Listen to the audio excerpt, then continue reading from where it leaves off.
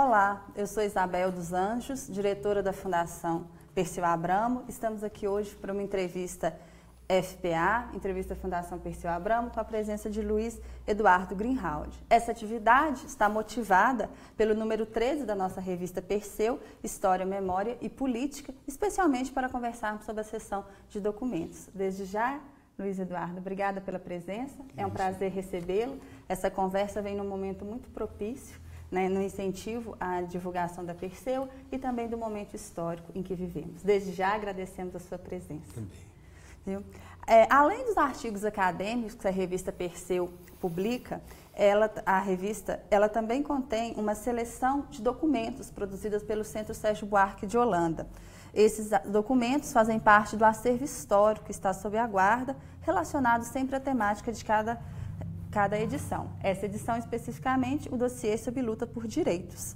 Para cada caderno, nós trouxemos uma seleção de artigos de jornais do PT, que explicitam, em, em geral, essa própria temática. Neste caso, a reação autoritária a esse processo, que se deu pela seleção dos artigos é, sobre criminalização e repressão aos movimentos sociais da esquerda e às organizações trabalhadoras, obviamente incluindo o próprio Partido dos Trabalhadores. Né? Como fonte desses documentos, nós tivemos, o, foram retirados do Boletim Nacional, do PT, o Jornal dos Trabalhadores e o PT Notícias três órgãos de circulação nacional e abarcam um período desde 1880 até os anos de 2000. 1980, 1980 me desculpe, Greenhalgh, até os anos de 2000.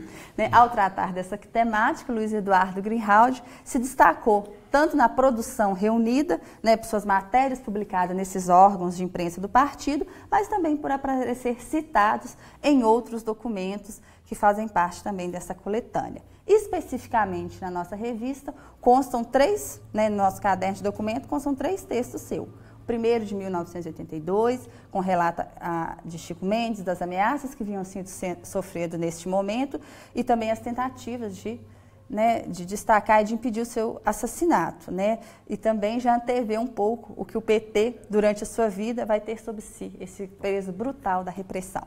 O outro texto né, de quatro anos depois, o segundo artigo, né, também na tentativa de denunciar a criminalização do PT, no que ficou conhecido como massacre do Leme, a ação da PM sobre uma greve de lavradores no município de Leme, que acabou provocando a morte de dois lavradores, além de 30 feridos e muitos presos. As lideranças do PT e da CUT também, que apoiavam a ação, foram justamente é, responsabilizadas pelos disparos. Né? E o terceiro artigo, que também está nessa coletânea, que foi de 1988, né, que ele, no qual denuncia a situação de violência sofrida pelos trabalhadores rurais através do caso, né, especialmente do, Prado, do padre Josimo de Moraes, liderança assassinada pela luta das terras em Tocantins. Esses três textos, esses três documentos estão disponíveis nos nossos cadernos de documentos na revista Perseu número 13, que motiva a nossa conversa. Além também desses, desses material, há a menção ao Senhor nos enquadramentos dos sindicalistas, das leis nacionais e em outros documentos. Então, para essa conversa de hoje, nós gostaríamos de tratar desses três grandes temas que foram abarcados no caderno de documentos, né? principalmente com relação à perseguição e assassinato das lideranças no campo, exemplos que são tratados no caderno de documentos. Sinta-se à vontade, mais uma vez é um prazer ter essa conversa. Muito obrigado, Isabel. E eu quero começar agradecendo à Fundação Perseu Abramo a inclusão de alguns textos meus daquela época sobre repressão ao movimento social, aos sindicatos, aos trabalhadores rurais e lideranças. Eu quero uh, primeiro me apresentar. Quero, eu me chamo Luiz Eduardo Greenhalgh, sou advogado, sou fundador do Partido dos Trabalhadores, e continuo no Diretório Nacional do Partido dos Trabalhadores até hoje. Fui vice-prefeito aqui em São Paulo, na gestão da Luiz Erundina, e fui por três mandatos deputado federal. Bem, é, essas coisas que a gente ocupa na política, ocupa na política e são passageiras. O que eu sou mesmo é advogado. Né? E é, eu comecei a advogar muito em função do, do início do Partido dos Trabalhadores. Eu uh, participava como o Perseu Abramo, meu grande amigo, como Azilá, do Movimento Nacional pela Anistia. Nós éramos, eh, eu era coordenador nacional do Comitê Brasileiro pela Anistia. E a Zilá Abramo e o Perseu Abramo eram integrantes da executiva uh, do, da, da, do, Comitê Brasileiro pela Anistia. Então, é, vir falar na Fundação Perseu Abramo é também é, me lembrar e prestar de novo uma homenagem ao Perseu e a Zilá, de quem eu fui ah, muito próximo. Bem, é, é, eu, eu sou assim, eu era é, estudante de direito, ia trabalhar no escritório do meu pai, meu pai era um advogado civilista, um amigo meu foi preso pelo DOI-CODE, eu acabei indo ao escritório dele, ajudando a libertá-lo. Nunca tinha ouvido falar em lei de segurança nacional, nunca tinha defendido preso político, nunca tinha visto uh, nenhuma pessoa ser torturada. E, de repente, eu me deparo com uma prisão arbitrária, com torturas, com assassinatos, com exílios, com mortes. E acabo, então, uh, saindo do leito natural meu para vir uh, advogar para presos políticos. E como é que eu é, conheço o Lula e, e, venho a participar do PT? As primeiras conversas com o Lula não foram boas, tá certo? E é bom que a gente diga isso. Nós éramos no comitê de anistia e uma companheira nossa referiu-se ao Lula, dizendo: Olha, é, tem um sindicalista no ABC que está se destacando e não é um pelego, Tá certo? E seria bom a gente conversar com ele sobre anistia. Tá certo? E eh, nós tínhamos intelectuais, eh, estudantes, eh, pessoas de esquerda, mas a gente não tinha povo, não tinha trabalhador na, na, luta pela anistia. Precisava de massificar a luta pela anistia. Então nós fomos conversar com o Lula, tá certo? explicando ele, a ele a, a situação dos presos políticos, dos exilados, dos mortos, dos desaparecidos, lá em São Bernardo, na salinha da presidência. Ele serviu café, água e disse pra, que, que não se interessava por esse assunto de anistia. Porque esse negócio de anistia era coisa de estudante. E é, lá, o, o, sindicato de São Bernardo é, lutava pela anistia do estômago da classe operária. E a gente falou que os exilados, os mortos, os presos políticos, os socialistas também, lutavam, em certa medida, pelo, pela classe operária, portanto, pelo estômago da classe operária. Mas ele não se interessou. Mas a vida dá voltas. Pouco tempo depois, ah, o governo militar interveio no sindicato afastou a diretoria do Lula, nomeou uma junta governativa e o Lula, então, ah, me procura dizendo: olha, aquele assunto de anistia, eh, nós somos presos, perseguidos políticos, a gente quer agora de volta o nosso sindicato e aquele assunto de anistia está nos interessando. Então foi assim que a gente foi se aproximando, tá certo? E na fundação do Partido dos Trabalhadores, é, a, gente militou contra tudo e contra todos. O Partido dos Trabalhadores não estava no horizonte da abertura que os generais brasileiros estavam eh, eh, tramitando para voltar a uma democracia formal. Ali, nessa abertura do Geisel, do Golbery, do general Golbery, cabia tudo, menos o Partido dos Trabalhadores. E a gente foi teimando, teimando, teimando, e fomos construindo o Partido dos Trabalhadores e acabamos fundando o Partido dos Trabalhadores. Mas esse pecado, que é a fundação do Partido dos Trabalhadores, é, reagir, fez com que se somassem ações contra nós. E, de certa forma, essas ações até hoje estão presentes. Tá certo? Então, a gente foi reprimido. Tudo que acontecia, tá certo? É, é de violência, é, tudo que era de, de desajuste social da, da, da, ditadura, a culpa era do Partido dos Trabalhadores, tá certo? Bem, e a gente começou a sentir, tá a repressão e a eliminação policial vindo por cima de nós.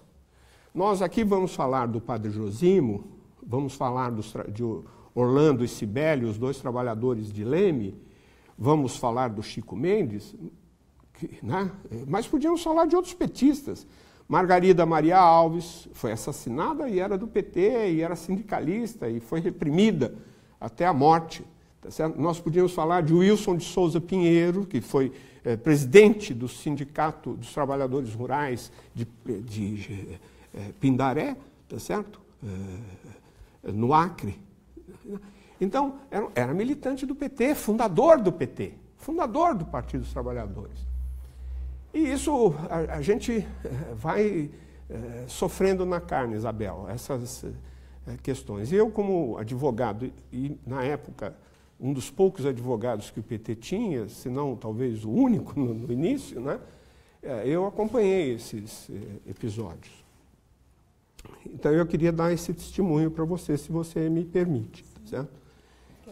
Tá bom. Eu uh, vou começar pelos textos que vocês fizeram a bondade de selecionar para a revista de número 13 da História Memória da Fundação sobre o Chico Mendes. O Chico Mendes, é, um trabalhador rural, presidente do Sindicato dos, dos uh, Trabalhadores Rurais de Chapuri, no Acre, vereador de Chapuri, tá certo? É, e já era pré-candidato a deputado estadual, quando ele foi assassinado. Mas antes disso, em 1982, que é a data do texto, ele esteve aqui em São Paulo numa reunião do PT onde ele fez um longo relato uh, para a executiva nacional do partido sobre uh, a situação dele. E ele, já naquele momento, dizia que muito possivelmente ele seria assassinado. Tá certo? Por causa dos. O que, que acontecia na época uh, no Acre? seringueiros, a seringa é uma árvore natural, as plantações de seringas são naturais, tá certo? E os fazendeiros queriam cortar os seringueiros, eh, meter capim e pôr gado, trocar seringa por gado, tá certo? E os seringueiros não, não suportavam isso, porque era retirar deles a extração, a própria vida, né? a extração da borracha, da seringa, coisas centenárias no Acre. Tá? Então, o que, que fazia o Chico Mendes e os trabalhadores, os seringueiros trabalhadores rurais? Sempre que sabiam que os fazendeiros iam cortar os seringais, iam para lá para defender as árvores, né, os seringais, e não deixar, e gritavam e resistiam naquilo que se chamou empate de derrubada. O que o Chico Mendes fazia era o que se chamava de empate de derrubada os fazendeiros iam derrubar e eles empatavam a derrubada, não deixavam derrubar, tá certo? E o Chico Mendes, eh, nessa reunião, eu me lembro perfeitamente, ele falou que tinha já o pistoleiro, que o pistoleiro uh, tinha sido contratado por não sei quantos uh, de dinheiro, que o pistoleiro enchia a cara nos botecos lá em Chapuri e dizia que estava ali mesmo para matar o Chico Mendes, tá certo? E nós, eh, na, na executiva do PT, ficamos muito apreensivos, tá certo? E o próprio Lula escreveu uma carta ao ministro da Justiça, na época, uh, o, mineiro Ibrahim Abiakel, tá certo? Uma carta uh, dizendo que o Chico Mendes estava sendo ameaçado, etc. e tal. Nós resolvemos pôr a boca no mundo, então Fizemos jornais, fizemos boletins, fizemos panfletos, denunciamos. Foi na época em que eu escrevi esse texto tá certo? para ser publicado no Jornal do PT a nível nacional. Tá certo? Esse tipo de, de, de, de, denúncia, de reação à denúncia, pôr a boca no mundo, falar, gritar, sempre dá certo. Sempre dá certo. Tá certo? Porque ah, atrapalha ah, os planos ah, dos algozes, né? ficam com receio. Né? A, a, polícia lá no, no, no, Acre era ligada aos fazendeiros, como acho que até hoje deve ser. Então, mas eles ficam com medo, é, fazem formalmente coisas que vamos é, evitar, etc. E tal. Muito bem. É, nós fizemos essas denúncias a nível nacional, tá certo? E fizemos denúncias a nível internacional. E o Chico Mendes é, continuou, a, a, virou uma personagem nacional em função disso, né? E, come, e começou a ser visto, tá certo, como um, um, um defensor da ecologia, um defensor da preservação ambiental, não é? É, na sua luta de resistência contra a derrubada dos seringais. Esse artigo é de 1982. O tempo passou. Em dezembro de 1988, o Chico Mendes é assassinado. Foi um, um, choque para nós. É, aqui em São Paulo, eu me lembro perfeitamente, tá certo? do dia em que veio a notícia, a gente se reuniu na Assembleia Legislativa de São Paulo. Perseu Abramo presente, foi uma das pessoas que coordenou essa reunião de emergência, tá certo? E a, a gente exigiu a prisão dos, dos, fazendeiros, já se sabia né, eh, quem é que era mandante, etc. E, tal. E depois eh, de algum tempo, eu, eu fui escalado para fazer a acusação dos fazendeiros eh, que assassinaram Chico Mendes, mas eu tinha sido eleito eh, vice-prefeito de São Paulo. Então o processo tramitava sem que eu pudesse sair daqui de São Paulo. Aí nós pedimos ao Márcio Tomás Bastos que pudesse me substituir e foi ele quem fez o júri que acabou condenando os mandantes do assassinato do Chico Mendes. Então foi uma, uma, uma situação muito grave. Isabel, o segundo texto. Tá essa questão do, só um momento, essa questão da perseguição e assassinato das lideranças do campo, o Chico Mendes foi emblemático nesse sentido, né, Luiz Eduardo? Mas essa questão da violência, ela está sempre às voltas com essa ah, questão da própria militância. A gente poderia citar outros exemplos também contidos nesse caderno e algumas perpetuações, né? Sim, muitos. A Margarida Maria Alves, não é? Nativo da, nativo da Natividade. Ah o, recentemente, os militantes do movimento dos trabalhadores rurais sem terra, José Rainha.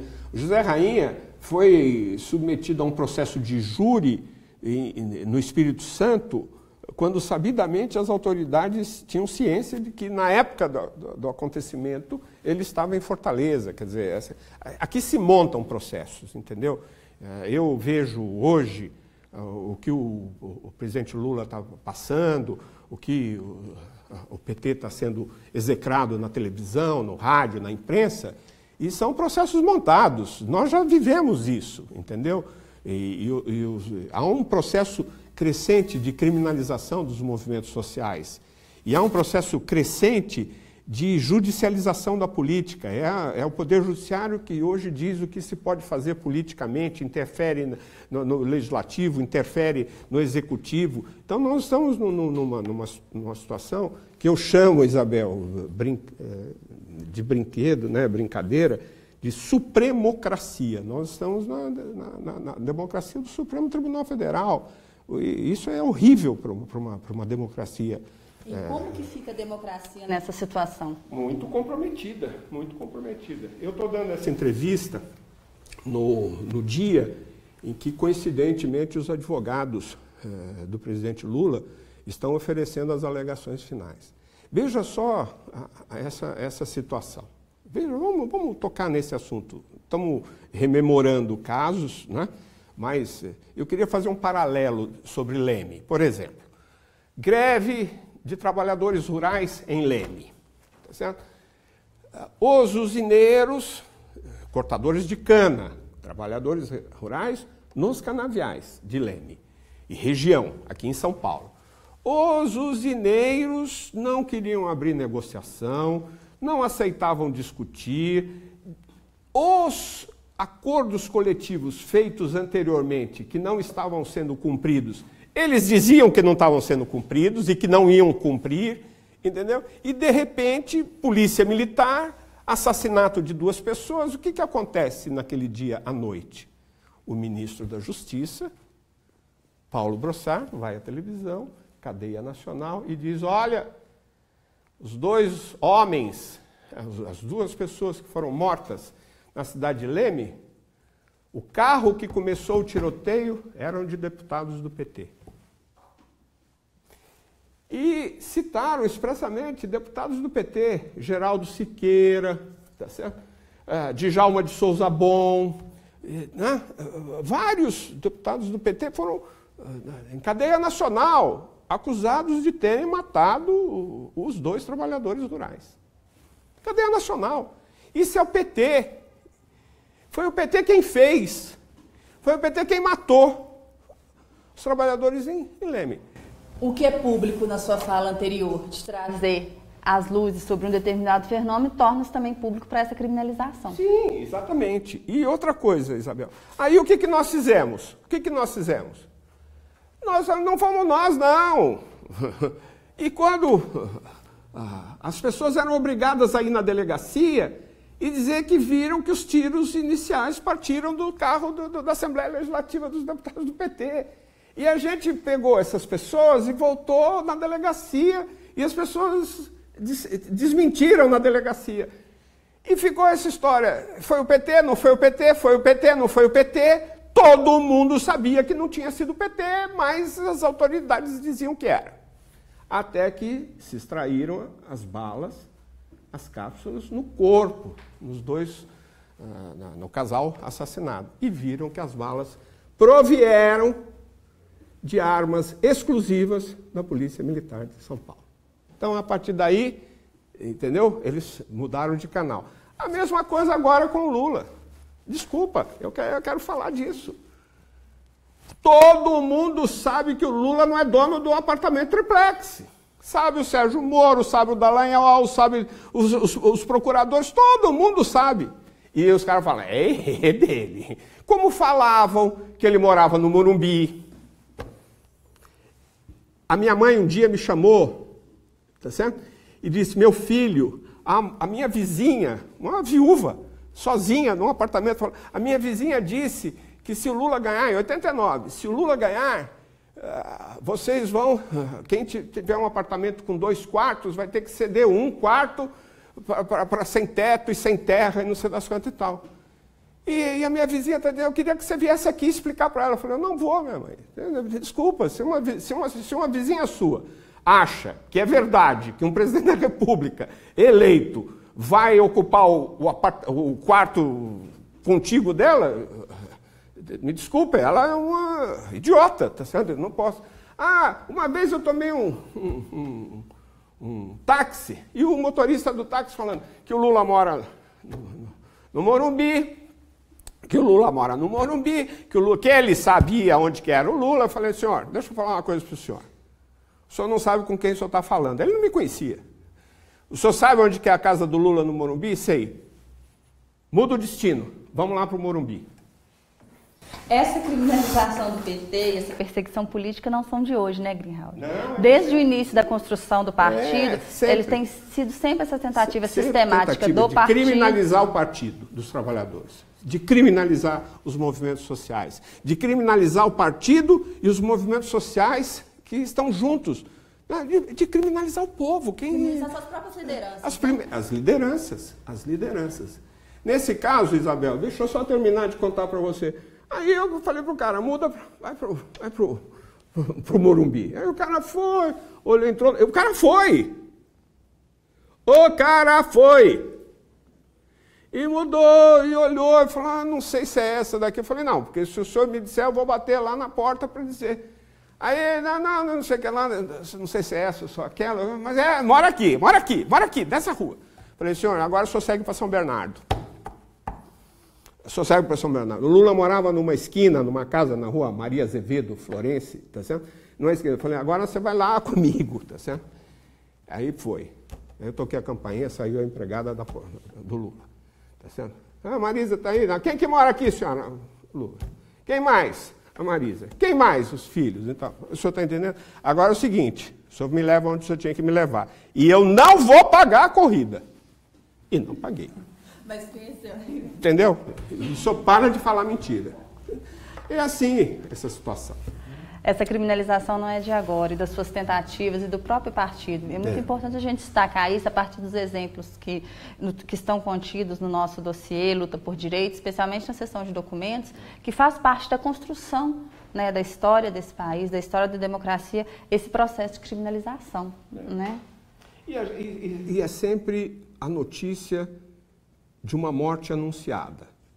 No caso do padre Josimo, eu trouxe até uma fotografia, não sei se vai dar para a gente é, focalizar aqui essa foto, mas olha, Isabel, quero mostrar para você. Esta foto aqui, aqui está o padre Josimo. Nós estamos em Belém. Nós tínhamos feito um tribunal simulado sobre a violência na terra. E o padre Josimo apareceu lá dizendo que ele ia ser morto. E nós fizemos uma denúncia. Aqui é uma entrevista coletiva e nós estamos dizendo que esse homem vai ser morto. Eu, Avelino Ganser, padre Ricardo Rezende, Egídio Machado Salles Filho, o padre Josímio, uh, o José de Castro e o uh, uh, Jair Meneghelli. Tá certo? Olha aqui, que era presidente da CUT. Tá certo? Na época. Olha aqui, nós divulgamos que esse rapaz ia ser morto. Ninguém tomou providências. Três meses depois, foi morto.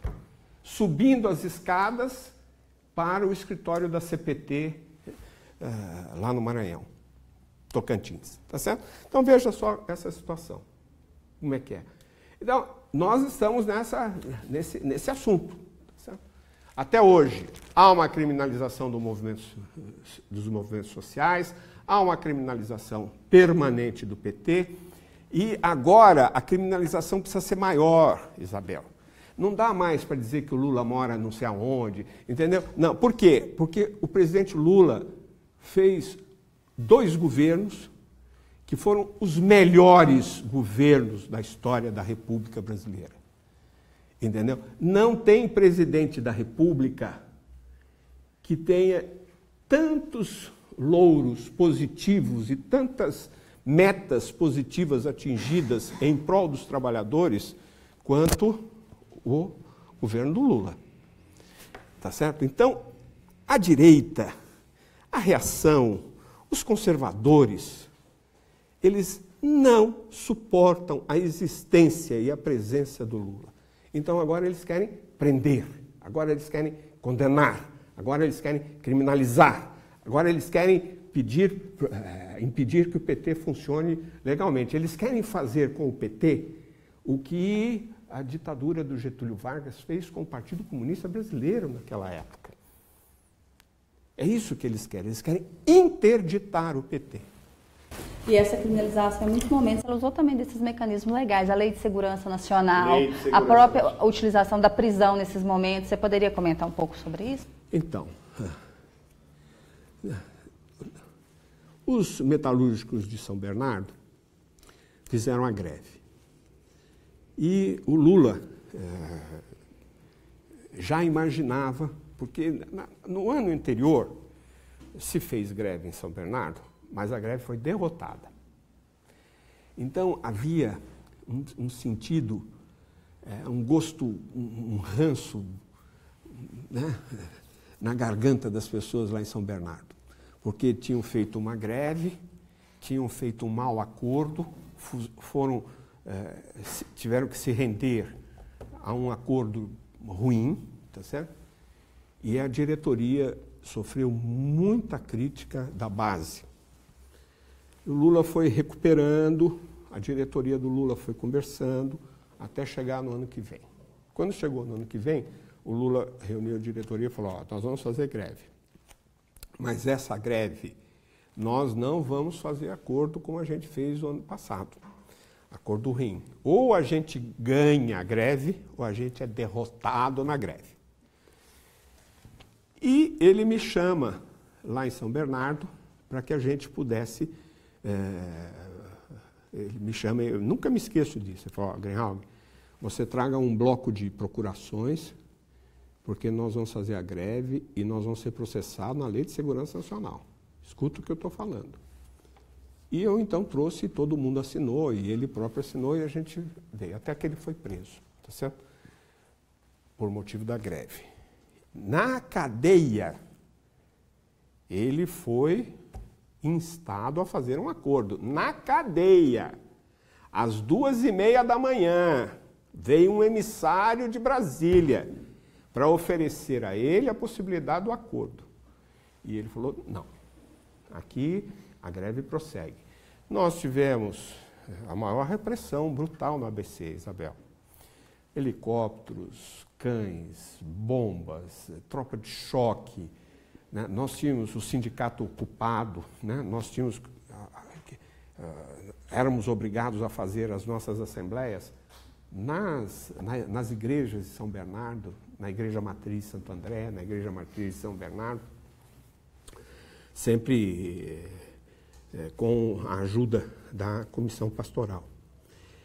E, é, de fato, fomos processados na Lei de Segurança Nacional. Entendeu? Muitas prisões também. Muitas. Né? Acho que naquela época, mais de 500 prisões foram feitas durante a greve. Tá certo? Mas foram 33 dias de prisão dos dirigentes da greve, entre os quais o Lula. Tá certo? E Lei de Segurança Nacional.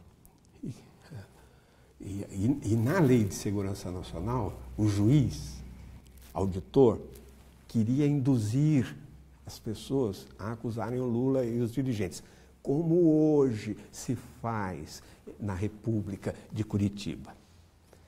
A testemunha não diz o que quer, diz aquilo que os interrogadores querem saber querem que a pessoa diga.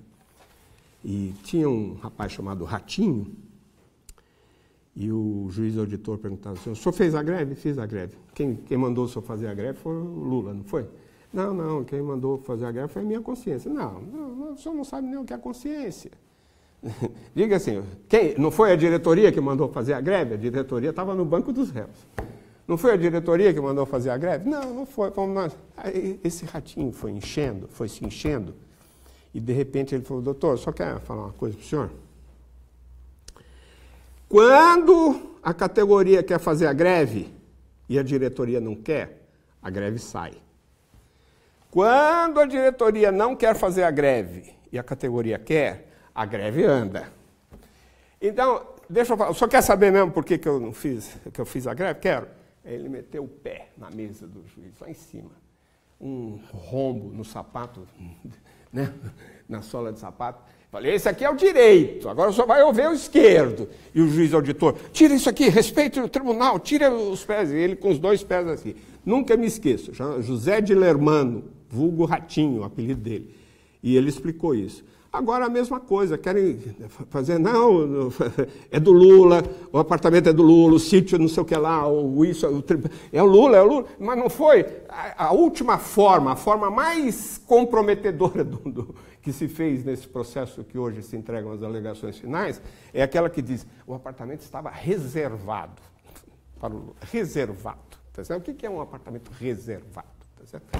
Muito difícil, viu? Essa criminalização faz parte né, da, da constituição do partido e também as tentativas e as alternativas que na luta vão surgindo pela força do partido também romper com isso, né, Greenhouse? Claro. Em claro. todas essas etapas. Ou... Eu acho que muitas vezes, Isabel, o PT acreditou demais.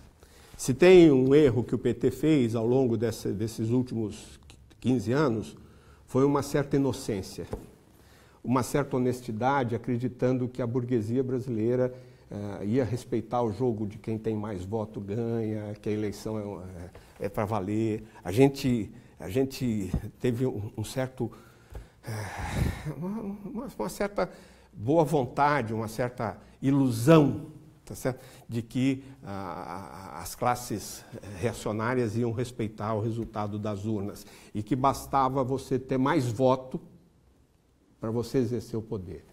E a gente viu que não foi assim. Fizeram um golpe, fizeram um impeachment, tá certo? E hoje nós temos um presidente da República sustentado por quem bateu panela, tá certo? Quem bateu panela nesse país, pedindo o impeachment da presidente Dilma, por pedalada, suposta pedalada fiscal, e hoje você tem uma pessoa que seis ministros já foram afastados por corrupção, o próprio presidente, e ninguém bate panela, porque é um bando de é, hipócritas, entendeu? É, nesse, nesse país. Então nós estamos nessa situação. Se fosse a Dilma a destinatária das acusações que se fazem nesses, nesse instante ao Temer, ela tinha, o Palácio do Planalto tinha sido invadido por tanques militares. E não, no entanto, estão sustentando um, um, um governo decrépito, corrupto como esse. Tá e, e, e, o PT é o culpado. E cadê as pessoas que eh, queriam o bem do Brasil? Cadê as pessoas que eh, achavam que a Dilma não servia? Nós sofremos de uma inocência. Nós somos crédulos. E eu lutei a minha vida inteira, como milhares de pessoas, para fazer o Lula subir aquela rampa. Eu vou lutar o resto da minha vida para ele subir de novo aquela rampa. Mas o próximo período nós vamos ser mais espertos. Nós não vamos ser tão inocentes como nós somos a dessa memória. vez. Tá certo? Ajudar. A memória nos ajuda. Nos ajuda com seus aprendizados. Outro assunto, Greenhalgh, encaminhando um pouco para o nosso último te bloco temático, é com relação aos massacres, tá. né, aos trabalhadores, aos movimentos sociais no campo e também nos centros urbanos. Né? Eventos mencionados nesse caderno evidenciam muito essa regularidade da violência contra os trabalhadores e trabalhadoras, né, muitas vezes praticada pela própria Polícia Militar. Em, em seus documentos, trazemos alguns exemplos exemplos. Gostaríamos também de ouvir um pouco da sua, da sua opinião, da sua percepção a respeito desses textos, quando abordada essa questão dos massacres ocorridos. Não, os, os, massacres, é, é, Isabel, eu estive em, em, dois desses massacres presentes antes deles acontecerem. Estive em Corumbiara, tá certo? E é, a gente sabia que a situação estava crescente. A gente sabia que a, é, que a polícia militar não estava para brincadeira e a gente sabia que essas coisas podiam uh, acontecer. Tá uh, a gente nunca se esquece de, dessa, dessas, desses momentos. Tá certo? Por quê? Porque todo movimento social, mesmo em, te, em, em tempos em que a repressão diminui, o movimento social é alvo de repressão, tá certo? De acompanhamentos, é, de provocações, de prisões é, seletivas, tá certo? Até o momento em que esta quantidade de episódios e fatos repressivos se transforma numa qualidade e acaba vindo um massacre, tá certo? Então, ah, ah, os massacres feitos pela polícia, em geral pela polícia militar, tá demonstram, na minha opinião, uma absoluta incapacidade dos organismos de prevenção e controle da própria polícia. Tá certo? Ah, são eh, atos que acabam por gerar a insegurança. Você tem a Candelária, nesse sentido, você tem é, Corumbiara, você tem vários outros episódios, tá certo? É, que, que, né? é, que a gente, eu fiz até uma, uma, uma uma reportagem aqui, uma.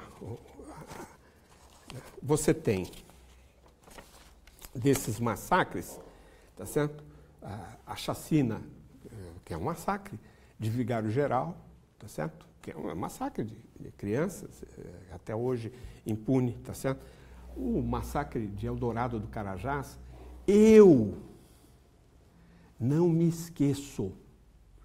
Eu fui encarregado de buscar os corpos dos trabalhadores assassinados em Eldorado Carajás. E esses corpos, e nós vemos em cima de um caminhão, de, uns quatro ou cinco caminhões Mercedes, tá certo? Uh, uh, com, com os corpos dos companheiros e companheiras assassinadas em Eldorado do Carajás.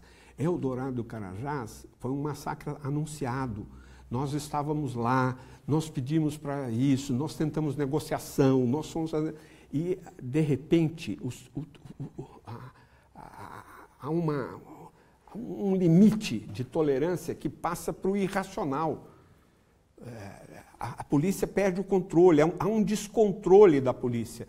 Eu tenho muito medo de polícia, tá certo? Tenho muito medo de polícia, porque a, a, você não tem diálogo e, de repente, nas manifestações, comício, passeata... Você, de, nos despejos... Tá das certo? famílias acampadas em Santa Elmira. Você acaba uh, perdendo, num determinado momento, tá certo? o controle da situação e passa a ser o irracional a comandar as coisas. Então os guardas atiram a qualquer eh, preço, eh, de qualquer jeito, eh, atiram bombas. É uma, é uma coisa impressionante, impressionante, tá certo? Não há um controle rigoroso nem disciplina na polícia. A polícia brasileira é uma polícia falha, é uma polícia indisciplinada, é uma polícia que não tem capacitação técnica, que não tem, mesmo se você olha tá certo? A necessidade de controle social, de algumas atividades, etc. Não tem. Tá certo? Você vê, hoje em dia, o que, que você. A polícia, o que, que faz a polícia no Brasil hoje? Vive do quê? De delação premiada. Porque se não tem delação, não tem investigação. Que investigação foi feita nessa Operação Lava Jato, que vocês sabem? Ninguém sabe dela. A Operação Lava Jato se alimenta de delação premiada. Então, se faz a delação. Com a delação, eu fico sabendo, eu fico sabendo avanço. Mas investigação policial, setor de inteligência, trabalho policial investigativo, zero. Tá bom. Historicamente, os, os massacres também fazem parte dessa, dessa luta e dessa própria esse uso da violência desmedida. Esses são os três grandes temas que nós temos nos cadernos de documentos. O convite aos que nos assistem a também conhecer mais da revista Perseu, né, seja através dos seus artigos, do caderno de fotos e também do caderno de documentos, que é a temática que hoje estamos tratando aqui com a presença de Luiz Eduardo Greenhalgh, é, advogado e também fundador da, do Partido dos Trabalhadores. Encaminhando para as nossas considerações finais, Luiz Eduardo, nós gostaríamos de saber se você tem algum aspecto que você queira ressaltar, algum, algum assunto que você queira abordar, e desde já agradecendo mais uma vez a sua presença e também aqueles que nos assistem pela, pelos nossos canais de comunicação, especialmente pela TV Não, Isabel, eu não tenho mais nada. Eu espero. Uh, primeiro, eu tenho a agradecer à Fundação Perseu Abramo pela temática dessa sua edição número 13 aqui, que diz respeito à criminalização dos movimentos sociais e um aspecto histórico e tal.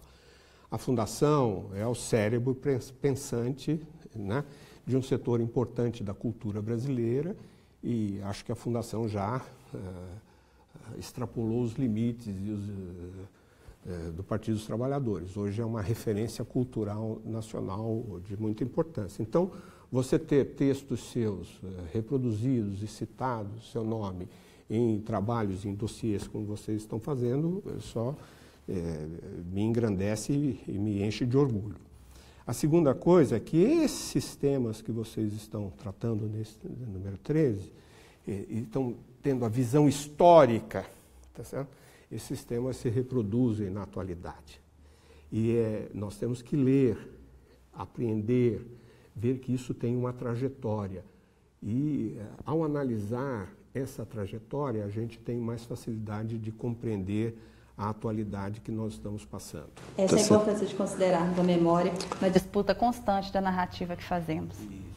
Né? E isso ajuda a gente a, a ver também o nosso destino futuro, os nossos caminhos, corrigir os nossos erros, né? e, e sempre fazer a memória da classe operária.